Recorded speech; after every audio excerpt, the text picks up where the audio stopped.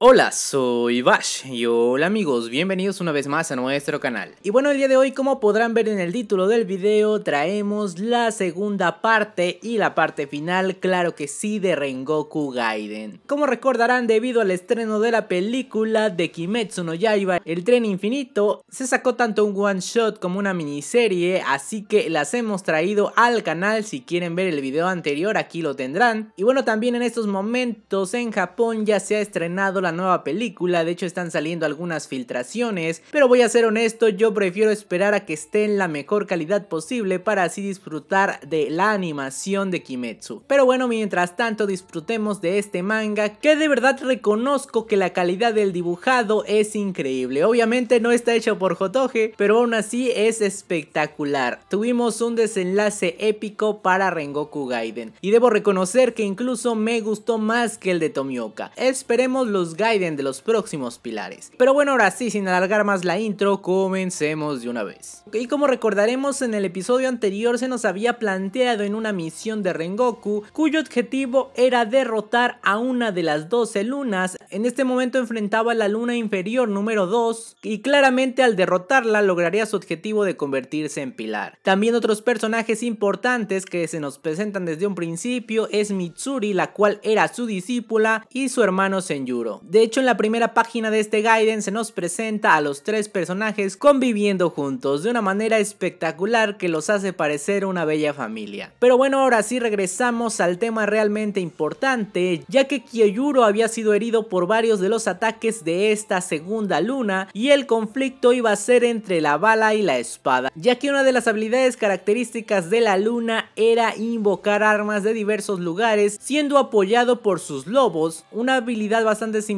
al demonio que enfrentó en su primera misión. Vemos como el combate de estos dos guerreros continúa mientras el demonio activa su técnica de demonio de sangre invocando a los lobos, pero Rengoku gracias a su habilidad lo contrarresta sin tanto problema. Los ataques del demonio continúan uno tras otro lanzando balas y bombas a Rengoku, pero a pesar de todo esto nuestro querido personaje no cae. El mismo demonio lo reconoce diciendo que cómo es posible que alguien sin talento como él con vida. Teniendo de esta manera un flashback en el cual fue torturado y amenazado por el antiguo Rengoku. Claramente reconocemos que este era su padre, también en una situación donde él decía que ya se había cansado de ser un pilar, demostrando así una vez más una de las terribles actitudes del padre de Kyoyuro, dejando vivo a este demonio para que después cobrara venganza y por no haberlo matado en ese momento ya me imagino cuántas vidas habrá cobrado. Al parecer de cierta forma esta luna quedó traumatizada con el recuerdo de aquel cazador de demonios. De hecho, esto me recuerda un poco cómo había quedado traumatizado Musan después de su encuentro con Yorishi. Creo que es algo bastante similar. El combate entre estos dos continuaba cuando vemos que la luna llena de furia comienza a sacar una metralleta disparando de una manera bastante psicótica, debo decir, gritando me vengaré Rengoku Kyoyuro. En ese momento es el turno de Rengoku para tener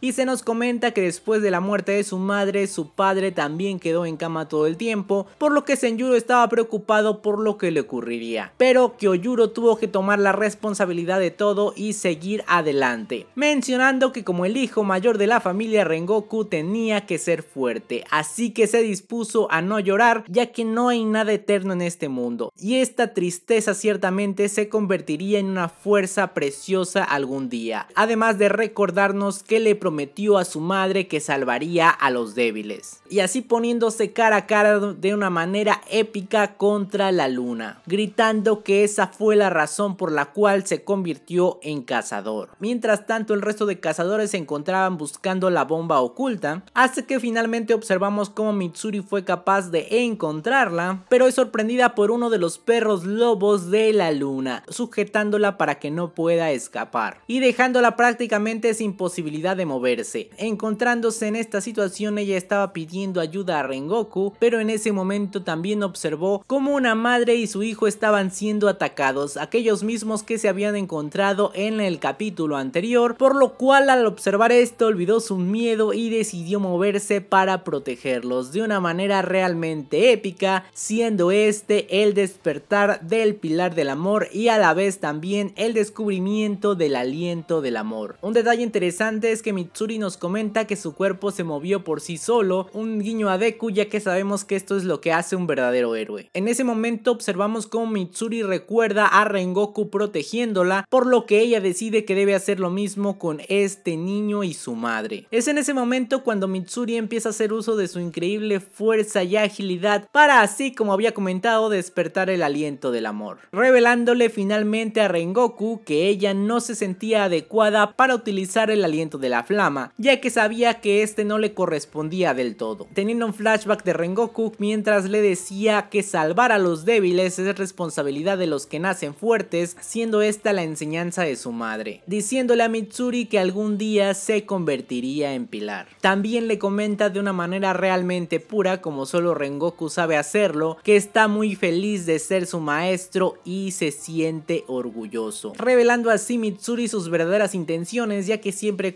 que estaba buscando a un chico para casarse, pero en realidad lo que buscaba era un hogar donde pueda ser ella misma, diciendo la frase épica de enciende la llama de tu corazón sobre la espada y determinándose a derrotar definitivamente a esos lobos que estaban acechando a los inocentes. Incluso después de esto ella es capaz de atrapar la bomba entre sus piernas en una escena realmente espectacular y yo había criticado un poco que a Mitsuri no se le daba protagonismo, pero bueno la es que esta fue una escena bestial y un increíble despertar para el pilar del amor. Mientras tanto también observamos cómo el niño y su madre le agradecen a Mitsuri por lo que ha hecho. Pero bueno ahora sí regresamos con el combate principal ya que Rengoku a pesar de estar bastante herido no se detenía, seguía atacando con una determinación que asombraba al mismo demonio, ya que el demonio decía que no importaba cuántas veces le disparara o lo atacara una y otra vez con explosivos, él jamás iba a morir,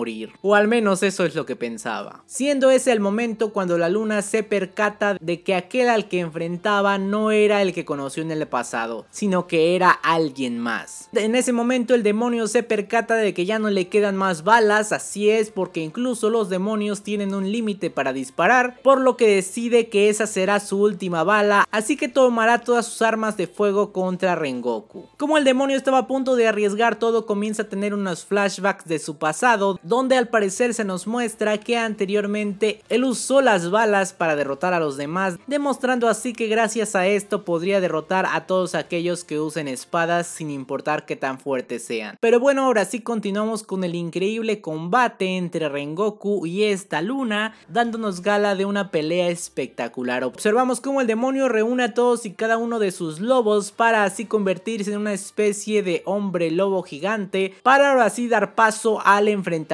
final. El demonio estaba totalmente furioso y le dice a Rengoku que lo asesinará sin piedad. Rengoku lo único que puede hacer es sujetar su espada con toda la fuerza posible para así enfrentar a este poderoso demonio, teniendo un choque de habilidades bastante extremo y poderoso que se ve increíble. El choque se seguía manteniendo mientras Rengoku seguía quemando todo con lo que hacía contacto hasta que nos confirma que la respiración de la flama tiene nueve posturas y la última lleva su nombre, por lo cual finalmente activa el aliento de la flama novena postura Rengoku, la cual es capaz de quemar incluso hasta el sonido. Y ahora sí derrotando de manera definitiva a este poderoso enemigo. En una compilación de escenas tremenda que de verdad les recomiendo mucho ver el manga porque está espectacular. A pesar de que Rengoku obtuvo la victoria aún seguía preocupado sabiendo que tenía que encontrar la bomba para así evitar que más parte del pueblo fuera destruido, tratando de forzar a su cuerpo de que siguiera moviéndose. Pero ante esto observamos cómo llega Mitsuri a decirle que ya todo está hecho y ha logrado vencer a una luna superior, por lo cual actualmente él ha obtenido el título de Pilar, mientras Rengoku mira al cielo hablándole a su madre y diciéndole que ha cumplido su promesa. Posteriormente observamos a Rengoku y a Mitsuri regresando con Para demostrar que aún siguen con vida mientras su padre lo escucha a lo lejos. También observamos una escena del patrón reconociendo las habilidades de Kyoyuro para decirle que de ahora en adelante nos apoyarás como uno de los pilares. Y así es como Kyoyuro llegó a ser un pilar y acepta su responsabilidad además de mencionar que el fuego de su corazón ardió ese día, incluso ahora no se mantendrá solo en su corazón. Como el hijo mayor de la familia Rengoku, él es responsable con su deber. Y así es como nos pasan una enorme cantidad de flashback de Rengoku conviviendo con los pilares para llegar finalmente a uno de los momentos más tristes del manga de Kimetsu no Yaiba y recordarnos nuevamente la caída del gran pilar de la flama Rengoku. Así es, ya que nos hacen revivir la escena de Akasa y Rengoku en algo que bueno veremos en la película y que de verdad también me va a hacer sufrir demasiado. Y observamos como Rengoku muy dentro de él le pide a Tanjiro que por favor continúe lo que él había dejado. Observando su increíble determinación y lo que logró a pesar de tener heridas tan graves, pero bueno ya conocemos la culminación de todo esto. Posteriormente pasamos a un pequeño flashback de Mitsuri, la cual ahora al conocer la historia más completa y obviamente sabiendo que tenía una gran relación con Rengoku, habría sido mucho más interesante observar cómo Mitsuri reaccionaba ante toda la situación de la muerte de su maestro, pero a pesar de todo este es un lindo momento ya que observamos cómo Mitsuri se percata de la aparición de las flores de cerezo, mientras también se nos muestra una escena de Tanjiro, Zenitsu e Inosuke. La verdad es que no estaba seguro de que aparecerían, pero está claro que Rengoku había cedido su voluntad a Tanjiro y gracias a esto él fue clave para la derrota de Musan. Observamos cómo Tanjiro muestra un poco el guardaespadas de Rengoku y es así como Inosuke motiva a Gonpachiro para que sigan avanzando y logren su objetivo finalmente. Mientras tanto nos dirigimos a la casa de Rengoku donde se ve una especie de fantasma del mismo entre las flores de cerezo para dejarnos con una terrible escena final de la Ori Rengoku sobre una mesa dándonos a entender que el legado había terminado pero a pesar de todo la voluntad de Rengoku seguía firme. De hecho algo que me habría encantado ver es a Tanjiro usar este Aori creo que habría sido espectacular para culminar el manga pero aún así creo que todo se da a entender muy bien y la verdad es que disfruté de enorme manera este Gaiden. Espero también a ustedes les haya gustado mucho, no olviden darle like y suscribirse si les gustó el video. Además que como les mencioné en Japón ya se estrenó la película, así que la estaremos esperando hasta que llegue a nuestras manos y también estaremos reaccionando a ella y dando nuestra opinión cuando la tengamos disponible, aunque como ya dije prefiero esperar a que esté en buena calidad para disfrutarla mejor. Pero bueno, ahora sí muchísimas gracias por ver el video y antes de despedirme quiero agradecer a los queridos miembros del canal. Y muchas gracias a Estad Almora, Josué Durán, Andrea Fuentes, Pedro de Trujillo, Jaime Reyes, Emerson Ventura, Shigaraki Tomura, Luis Macosta, Bárbara Aninao, Paulex29, Morningstar y Calelicious Dinerillo. Muchísimas gracias chicos, cuídense mucho y sin nada por añadir, adiós.